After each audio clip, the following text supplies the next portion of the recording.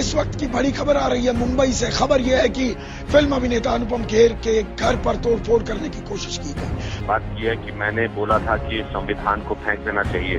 I have never said that एक CD जो circulate करी गई है कुछ मीडिया वालों को जिसमें कि कहते हैं कि एक कोई कॉन्वर्सेशन है ये बिल्कुल फैब्रिकेटेड सीडी है।